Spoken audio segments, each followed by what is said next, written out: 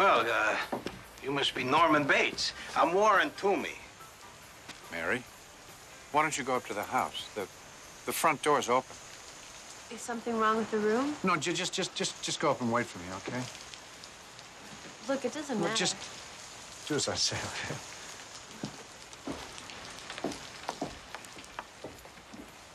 She's pretty cute. Where'd you find her? What's this stuff? Say it was drugs. What about the occupied cabins? Is that what's going on in there, too? Yeah. Why, this town, if it isn't the parents, it's the kids. I caught a couple of them screwing in the basement of your house up there last week. Of course, I threw them right out. Can you believe that? What kind of a motel are you running here?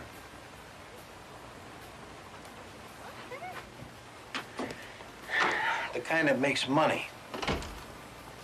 People come here to party. They stay a few hours and then they leave.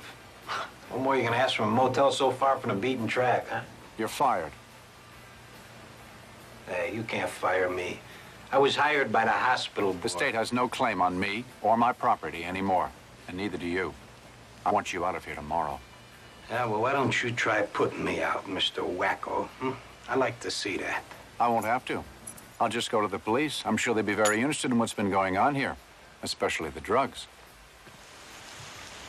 Tomorrow, Mr. Toomey, and don't rent out any more rooms in this motel. No more.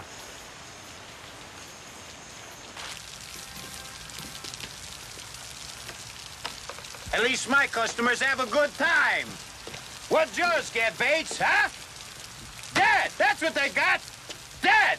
Murdered by you, you loony!